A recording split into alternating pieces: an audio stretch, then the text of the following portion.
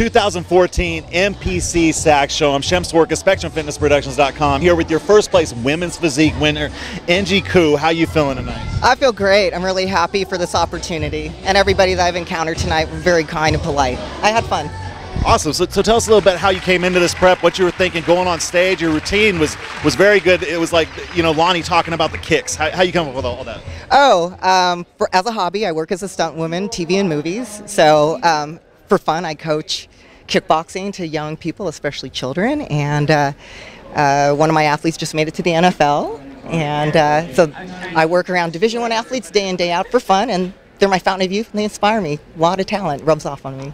So so this this fitness thing is like a way of life for you. No, this is just a hobby. Just just a hobby.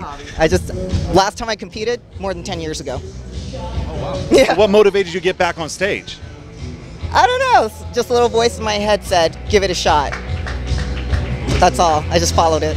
So you gave it a shot. Anything coming up? You going to do this again? I don't know. we'll see. See where it takes you. For me, honestly, I'm just goofing around.